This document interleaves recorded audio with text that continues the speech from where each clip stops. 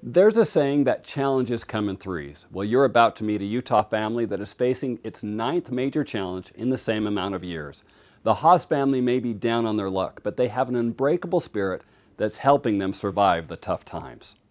I think through these trials, I've come to really understand that this isn't the big picture. You know, that there's more, there has to be more to that. You know, there has to be a reason that we're going through this. Shane and Amy Haas take on life's challenges one day at a time. They live in Sandy with their eight children, and their days fill up quickly with some serious obstacles. That was one of those things where you're like, how do we handle this? But yet, when you just get down to it and it's your own kid, you just do what it takes. You just handle it. From cancer to head injuries, severe sickness to facial deformities, and then more cancer. The hits just keep coming. I think we just have to be tougher than what's going against us and we can't really do much except love each other and be there for each other.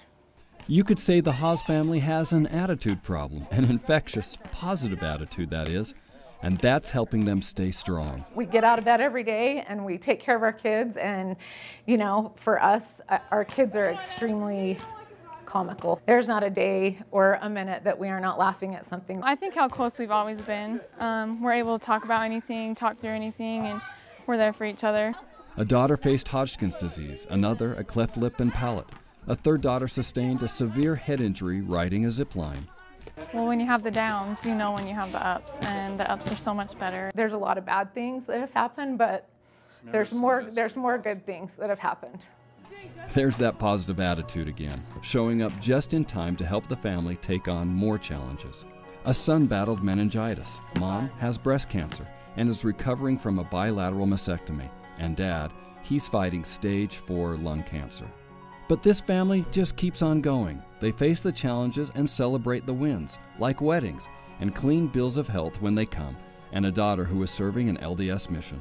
There's a lot of bad things that have happened, but there's more, there's more good things that have happened. Good things like the love from family, neighbors, and friends. No matter what happens, you know, they you think they just get sick of us, but they just rally around us and you know, something happens and everybody just wants to help. And believe it or not, the family sees these challenges as something positive. It's really hard, but challenges I feel like are there to strengthen us.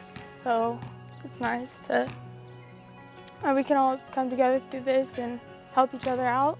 Their faith makes a difference. Myself, I have to have that faith because that's the only way you can get up in the morning. It's something that keeps us grounded and helps us to know, you know, what lies ahead, we can get through anything. And although the future is uncertain, they seem to be at peace. I hope I can be here. I'm going to do everything I can. I know I have great doctors and great specialists that'll do everything they can, but I know in the end it'll be the way it's supposed to be. Some kind neighbors created a website to help the Haas family. There are several fundraisers coming up, and the Haas family could use some help to pay the hefty medical bills. If you'd like to help them out, visit our website at good4utah.com. There you will find a link to the family's website. In Sandy, Robin Saville, Good for Utah.